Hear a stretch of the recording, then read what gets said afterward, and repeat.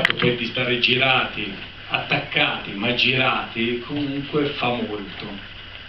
Perché non ti puoi girare, non puoi avere il controllo, devi fidarti di quello che ti dico io e allo stesso tempo devi chiudere il piatto, perché non si può non chiudere il piatto, per cui bisogna essere anche un po' ogni tanto veloci. E per cui insomma ci siamo divertiti, abbiamo trovato delle persone personaggi incredibili e, e basta. La cucina la conoscevo, e quello che speriamo è che vada bene, giusto?